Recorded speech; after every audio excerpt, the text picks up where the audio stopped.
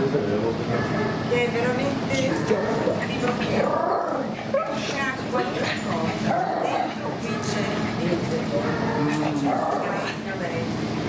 deve essere il frutto e questo ancora non l'abbiamo ancora capito bene di fortissime emozioni che Mara ha poi eh, risolto e concluso e ehm, come dire esorcizzato dentro questo libro eh, che mh, mm, ha anche un ritmo che si adatta moltissimo alla festa del cuore di oggi perché è scritto quando lo si legge sembra, ha un ritmo che sembra quello del battito di un cuore io te l'ho sempre detto. Sì.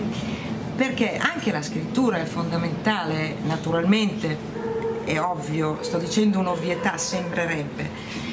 In realtà non è così scontato. Cioè quando un libro, quando una scrittura segue una trama che, e si sposa con questa trama in questo modo, cioè Mara qui ci ha messo il cuore e qui batte il suo cuore sicuramente e batte il cuore di questa storia, di queste storie, perché in realtà questo libro intreccia le storie di due protagonisti che poi diventano altri ancora come le matriosche e tutti questi protagonisti parlano di sé, raccontano le loro emozioni eh, tutti in maniera molto diretta, quasi, ecco qui invece subentra una scrittura eh, che sembra pe il, il, pensiero, sembra tradurre esattamente i pensieri che hanno una loro velocità, che hanno, quasi si sovrappongono. E, e io ho scoperto leggendo quando Mara mi ha mandato il suo manoscritto, io sono stata presa e ho dovuto finirlo subito, subito perché non si riesce a lasciare questi fili emotivi forti che ti tengono molto attaccato. Adesso invece entrando un po' nel prodotto, diciamo, che è questo libro che ha una copertina meravigliosa, eh, che è un quadro eh, sì. un quadro di... Ehm, dove è andato? Il nostro? è scappato Gregorio, e io ti presento. Gregorio così. Gregorio così. Eccolo. Che poi durante, questa presentazione poi si capirà anche questo intreccio perché anche sì. qui i destini si incrociano sì, i destini si incrociano in una storia di cuore no? Tu sei specialista del cuore, uno Facciamo. specialista del cuore. Non un cardiologo, ma, ma i cardiologi dopo. Ma quasi, i cardiologi vengono dopo, che diventa una magnifica, magnifica storia totale. Allora Mara, eh, intanto io te l'ho già chiesto, ma te lo richiedo. Cioè com'è nato dentro di te questo, questo libro? Allora, nasce, eh, l'idea, la prima idea nasce durante una mia lezione alla scuola di omeopatia, quattro anni fa. Eh, il docente Angelo Micozzi parla quel giorno di questo rimedio meraviglioso eh, estratto dalle secrezioni di alcuni particolari tipi di balene che si chiama ambra grisea. Nel, lo racconta eh, in una maniera così potente eh, che io ho pensato ci devo scrivere qualcosa perché ha raccontato la, la, la potenza anche sulla parte emotiva di alcune malattie che sono considerate dalla medicina tradizionale soltanto delle malattie fisiche, l'ha raccontata con una tale potenza che ho pensato in quel momento lì, me lo ricordo ancora, eh, ci devo scrivere qualcosa. Intanto mi appuntavo Ambra Grisea, come è fatta, come non è fatta, i dosaggi e poi è passato del tempo perché mh, io ho una gestazione un po' lunga delle cose che scrivo, eh, vengo magari catturata da delle immagini, poi ci, mi ci vuole sempre del tempo per metterle insieme.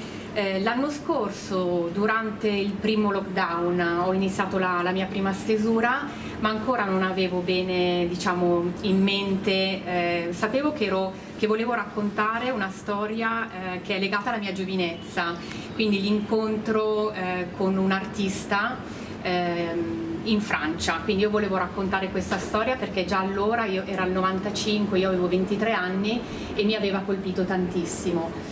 Nello scrivere l'incipit e nell'andare avanti, ehm, ricordo che io stavo correndo qua sull'alzaia e quasi un rider mi investì e ho pensato questo è un bell'incipit e l'ho, l'ho, iniziato così. Nasce tutto da un trauma. E nasce questo, tutto da questo incidente. Da questo incidente. Eh, quindi io diciamo l'ho iniziato ad, ad, aprile più o meno, ancora eravamo tutti in casa quasi, eh, i primi di maggio perché potevamo uscire, se no non sarei andata a correre. E, mm, poi la storia si è articolata eh, e qui lo rivelo un po' a te che non lo sai, eh, perché io ho avuto un incidente poi alla fine di agosto io l'incidente l'avevo già descritto, che era appunto la, la, l'investimento di Mila da parte del rider. Eh, io in quella, quella, quel periodo mi sono ritrovata eh, a letto e eh, diciamo che eh, il, il, libro ha preso un corpo e, notevole. Sì. Questo, notevole. notevole.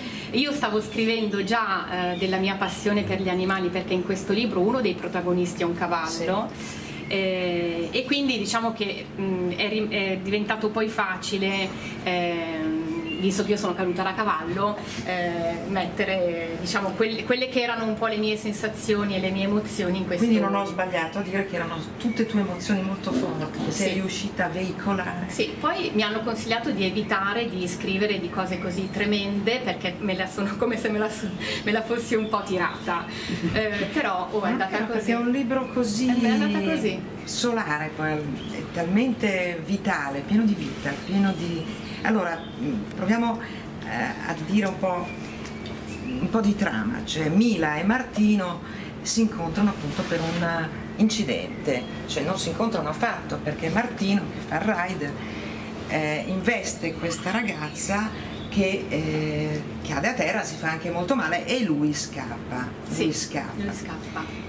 Da qui lei va a finire all'ospedale e, ed è qui che lei comincia a rivivere sua, il suo passato eh, una storia d'amore meravigliosa che prende due strade, cioè la storia d'amore con lui, con Zeno, e la storia d'amore con questo cavallo, che però nel libro monta secondo me pian piano sì. per sbottare alla fine, cioè alla fine c'è un boom Martino invece scappa perché eh, non ha il coraggio e lui, anche lui si fa tutta una serie di... Ecco, siccome poi ognuno di loro ha delle storie che si raccontano, si rivivono, eccetera, dove appaiono altri personaggi, tu di questi personaggi hai avuto, un, hai avuto ispirazione da persone che hai conosciuto? Allora, Susanna, quasi tutto, que- cioè, tutto quello che io scrivo eh, è ispirato a cose che mi hanno colpito, eh, cose che mi sono state raccontate, cose che io ho ascoltato, non so, per esempio eh, racconti dei bar, tutto ciò che io vivo ispira la, ispira la mia scrittura, cioè non riesco a scrivere nulla che io non, che non abbia colpito eh, in modo forte la mia parte diciamo così emotiva che, che io cerco di trasformare in un'immagine. Eh, perché sono molto reali cioè questo è un libro come piacciono a me come eh, su tutti i libri tutti i romanzi hanno comunque un, una sorta di ruolo di specchio poi nella realtà. Questo ce l'ha particolarmente cioè può, può ci si cala profondamente nelle realtà di questi personaggi, nella realtà di questa storia, che può davvero essere una storia vera, una storia per come... E quindi è molto bello letterariamente poter, eh, cioè voglio dire, è molto bello saper scrivere letterariamente la, la realtà, la realtà dell'anima, no? E qui saltano fuori tante anime, compresa quella del cavallo. Sì sì, sì, penso che ognuno si pos- possa trovare suo, ehm, la sua anima corrispondente oppure esatto. che noi eh, in ognuno di noi ospitiamo tante anime di quelle raccontate nel libro, perché io mi sono chiesta più volte, eh, Martino investe Nila e uno poi che fa? Cioè, questi ragazzi, a parte la situazione di queste persone che lavorano in questa via ogni mattina io e Gregorio ironizziamo sul fatto che ci potrebbero essere 5-6 incidenti in mezz'ora ma questi ragazzi, poi mi sono informata con eh, degli avvocati, non hanno delle assicurazioni, eh, non hanno delle coperture, allora noi se fossimo al loro posto, io ho provato a calarmi si nella, nella realtà sente. di una persona che fa un danno grosso e lì per lì cosa dice? Scappo, cioè umano, ecco, non perché io volessi eh, scusare Martino che poi ne combina un po' di tutti i colori, diciamo. è uno che se le, se le va esatto. anche a cercare, proprio perché lui è, non ce la fa, cioè, è uno che sbaglia facilmente, gli riesce facile e questa cosa però lo, riesce, lo, lo attanaglia, cioè lui vive una situazione di all'inizio dice oh chi se ne frega, tanto non lo scoprirà mai nessuno, tanto non ci sono le videocamere, tanto non le sarà successo niente di grave, quando capisce invece leggendo su un quotidiano online che la faccenda è seria inizia dentro di lui un, un percorso, un percorso lui, eh? angosciante, cioè arriva veramente forse a un, a un, punto limite e poi da lì qualcosa uno deve fare quando si, poi si guarda un po' in faccia. E, e, e, ho pensato che comunque potrebbe capitare a ognuno di noi sì. eh, una situazione in cui uno non sa cosa fare e la prima cosa che gli viene in mente è scappare. Molto, molto ben definita dal punto di vista femminile secondo me è Mila. È proprio una donna affascinante, affascinante perché esprime tutte eh, le parti femminili più, eh, chiamiamole pure classiche, ma che però sono quelle che si mantengono anche in ciascuna di noi, crescendo nel tempo. No? Lei è una donna, è una donna anche, cioè, è giovane, ma è una donna quando incontra Zeno. Sì. Si comporta da donna, eh, quasi trascina Zeno. Ho saltato forse, voi non sapete chi è Zeno. Zeno è il grande amore di Mila che lei in ospedale eh, ricorda, pensa, ricorda. ricorda, eccetera. Questo Zeno è molto più grande di lei, è un artista, è un uomo complicato, no? Eppure lei è così leggera, leggera come sono le donne quando si innamorano e, e si dà e lo prende, lo accoglie, dire, lo accoglie come solo le donne innamorate sono capaci di fare. E va incontro così a un destino che non sa com'è. Sì. No? Eh, quando io conobbi questa coppia che ha ispirato eh, questo racconto, quindi una giovane donna innamorata di un artista così più grande di lei, un artista affascinantissimo ma pieno di ombre. Eh, quando li ho conosciuti appunto era il 95 e anche lì l'emozione forte di dire eh, mi piacerebbe raccontare, non sapevo niente di mm, loro, certo. mi piacerebbe raccontare la loro storia, allora eh, captavo dettagli, eh, cercavo di immaginare come si fossero conosciuti, ehm, c'era la mamma di lui che un po' raccontava e, e faceva sapere ma non del tutto, cioè era veramente intrigante la situazione, io sono stata ospitata da questa eh, famiglia per un mese eh, in un periodo in cui a Parigi c'erano gli attentati, cioè, era la mia prima vacanza da sola all'estero e adesso capisco avendo le figlie che cosa si può far passare a dei genitori quando si decide di andare perché avevamo deciso di andare. E, c'era ogni, ogni, due giorni c'era una bomba che, che, scoppiava. Noi eravamo in campagna defilati però ci arrivavano queste notizie di Parigi eh, con questi cassonetti che esplodevano. E quindi era tutta una situazione molto suggestiva eh, c'erano i cavalli che io amavo tanto in questa grande tenuta, quindi eh, questo romanzo parte da lontano e questi, questa coppia era, era, molto affascinante, quindi lei era una donna bellissima, eh, lui era così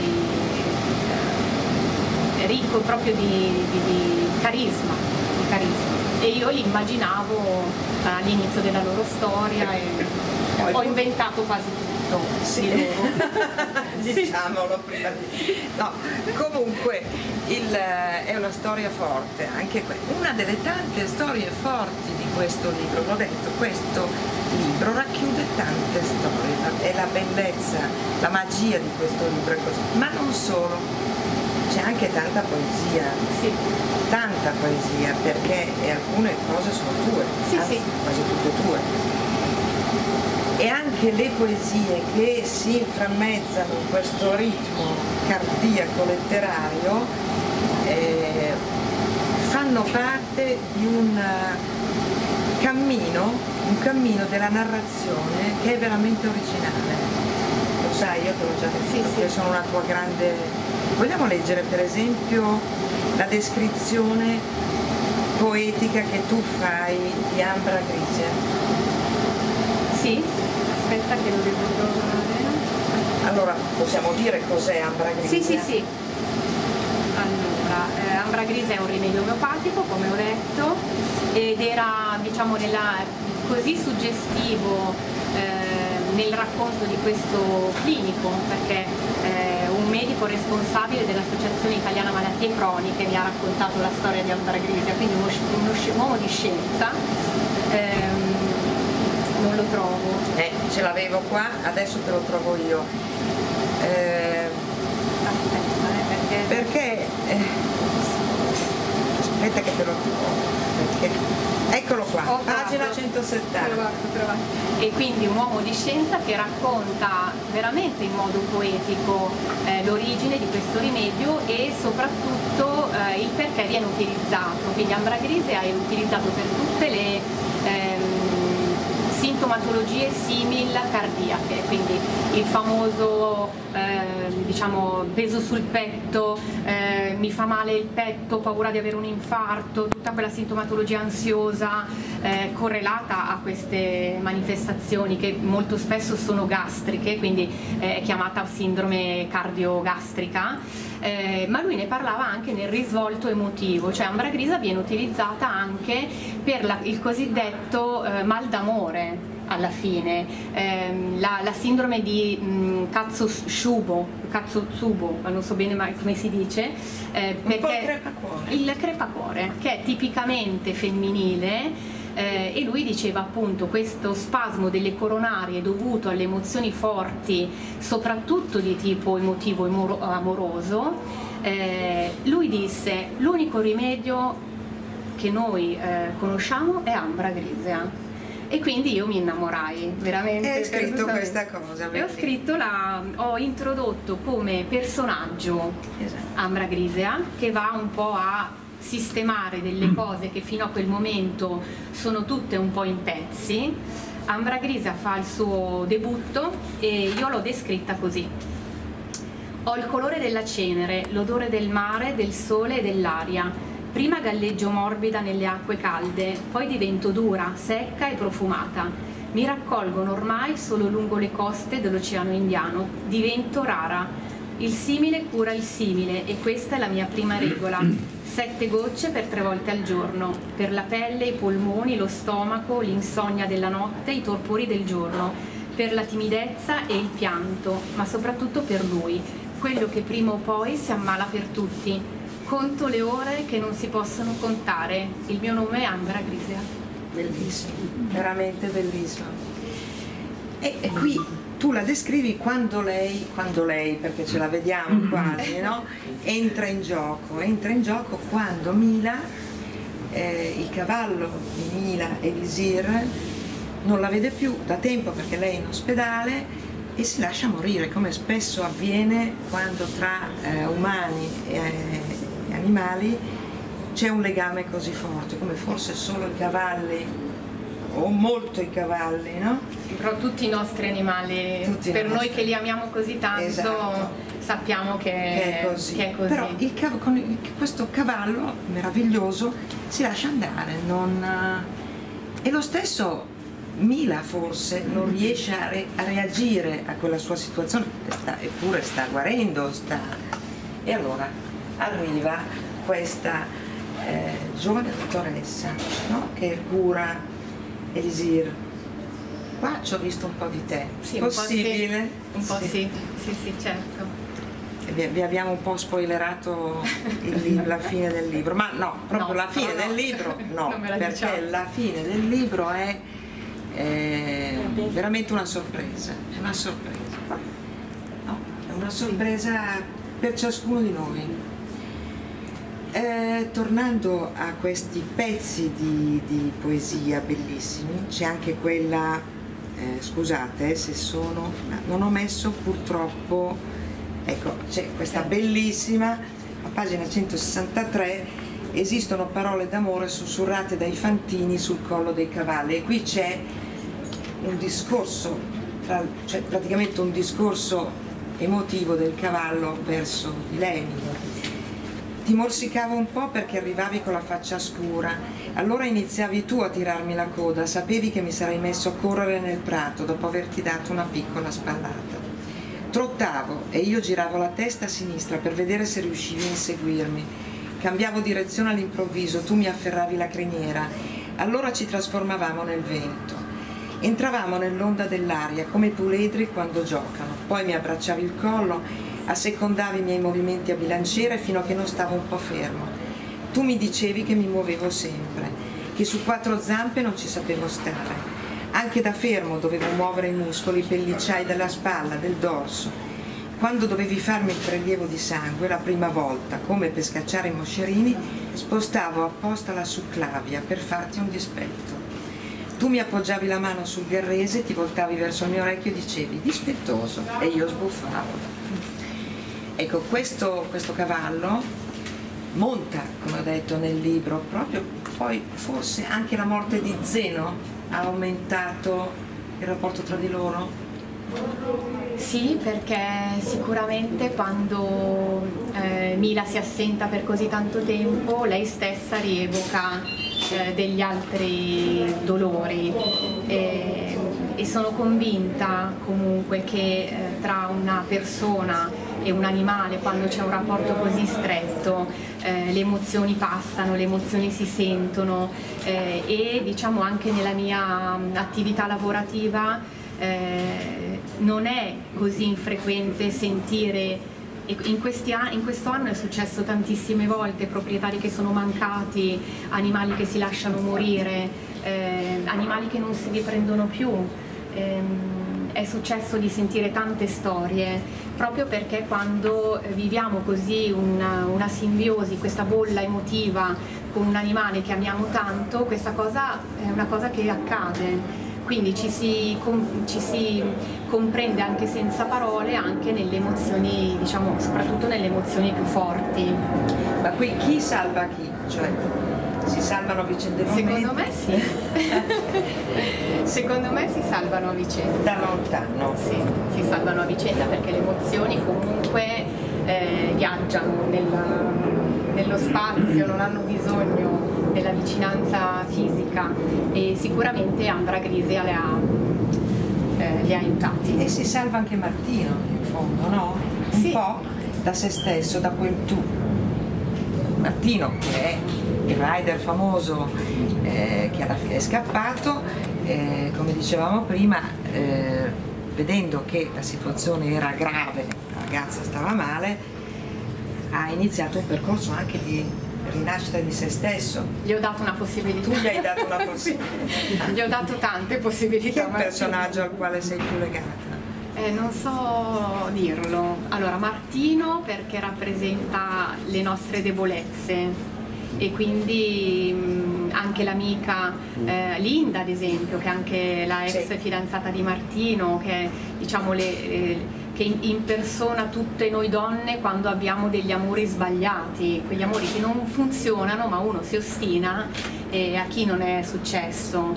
Eh, quindi non, non saprei dire, però a Martino diciamo che ho dato, ho dato tante possibilità, speriamo che usi bene. abbiamo un futuro radioso. E vorrei anche dire che vi faccio una domanda, la faccio a te. Secondo te scrittore si nasce o si diventa? Ehm, allora, io la passione per la scrittura eh, ce l'ho da... Io ho la passione per la lettura, perché anche nella- nei ringraziamenti io ringrazio la lettura. Tutti gli scrittori amano le leggere. E quindi non, non, non avrei mai scritto se non avessi avuto la possibilità di leggere. È vero che la mia scrittura cambia sempre. Luisa mi ha conosciuto cinque anni fa eh, con il mio primo romanzo Tutto il resto è soia e questo, se avrai modo di leggerlo, è molto diverso. Leggilo. Molto a me diverso. sembrava, cioè, Sì. quando stavo ragionando, proprio Quindi ricordandomi. mm, si ca- la scrittura cambia con noi, penso, eh, Allora, so. secondo me la- gli scrittori si nasce e poi ci si affina, si fa. Però secondo me si può anche lavorare tanto. sì, ci devi lavorare Eh. tanto, no? Sì. Però insomma non è eh, da tutti riuscire a... eh, non è che sto dicendo che è un pregio o non è un pregio, però bisogna averla questa cosa dentro, no? Che è fatta di curiosità, di voglia di vedere le, le parole, di trovare le parole per dire quello che si sente, per scrivere, per... eh, e quindi Io in questi anni ho mh, fatto tante scuole, cioè mi sono applicata al- allo studio un po' della scrittura.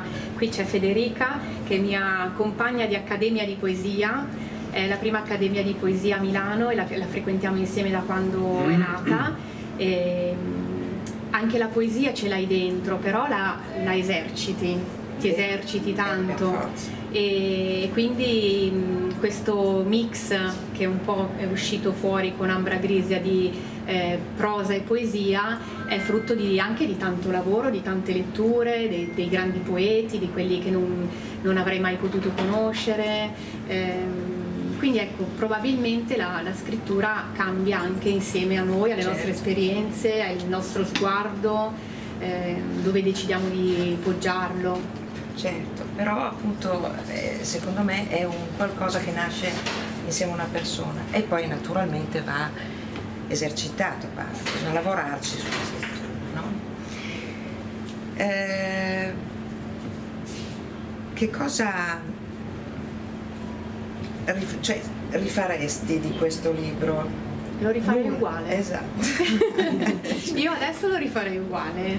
Sì, sì. eh, Non hai, ecco, questo è anche il segnale che un libro ci appaga, appaga prima di tutto chi l'ha scritto e poi appunto anche questo si sente, si sente che tu eh, sei appagata da questo, da questo libro.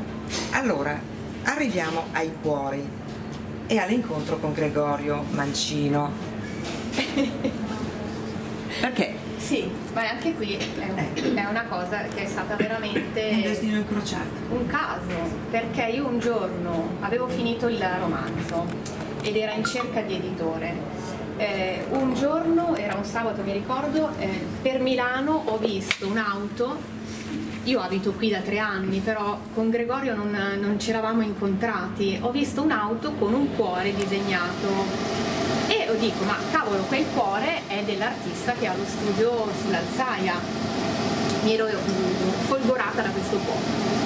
Allora io e mio marito spesso la mattina veniamo qui a prendere il caffè e quella mattina dico, eh, io stamattina chiedo alla- all'artista se me lo può fare anche a me il cuore sulla macchina. E era presto, otto e mezza, busso e chiedo, dico ma buongiorno, ho visto un cuore, volevo sapere se posso averlo anch'io sulla mia macchina. Certo, sì sì, quando vuoi, anzi quando vuole lo faccio. E da lì è iniziata un'amicizia. Poi parlando dopo E ti ha fatto un cuore su mi ha fatto un cuore Ma come? Con disegnato con Sì, sì. Eh, come li, fa, come li fa lui, sì, Sì. con i suoi colori. Io ho una ruota di scorta bianca, quindi io avevo proprio visto la stessa auto eh, e ho detto la voglio, lo voglio anch'io questo cuore. Eravamo lontanissimi da una copertina, da, da tutto. Parlando con Gregorio gli dico, ma sai, sa, eh, no, eravamo passati al tu. Io ho scritto un libro, eh, gli ho fatto un po' un riassunto, perché per me non è facile riassumere Ambra Grisia, però gli ho raccontato che Ambra Grisia è uno dei protagonisti del romanzo ed è il rimedio per il cuore spezzato. E parliamo ancora qualche settimana e alla fine è venuto come spontaneo pensare ma non è che Gregorio mi fai la copertina di Ambra Grisia? E lui mi ha detto sì. Sì, perché no? E quindi Beh, questa è un'opera. questa è prova che io mi un'opera, porto sì. dietro per scaramazzi. Quindi questa è un'opera che è proprio un quadro che adesso Sì. sta in casa mia ed è fatto apposta per Ambra Grisa, quindi ci sono eh, delle piccole ferite con dei cerotti, ehm, c'è un ferro di cavallo che ho preso nel mio maneggio, ehm, c'è un copertone di bicicletta che forma eh, il cuore, quindi è stato proprio pensato per, eh, per Ambra Grisea. E poi quello che io leggo in questo dipinto è mm, nonostante tutto quello che ci succeda, le nostre ferite, le nostre eh, le cose anche diciamo mm, che ci portiamo dietro da sempre, che ci porteremo sempre dietro, da cui magari non guariremo mai, ci sono dei limiti da cui noi non usciremo mai, ma magari da questi limiti, da queste eh, ferite magari è la volta buona che c'è una volta che eh, sboccia una cosa bella, eh, Sì, questo dà questo oggetto di colore. Lo dà, il messaggio lo dà, secondo me. Sì. Si sente. E quindi la, la- la copertina è nata così.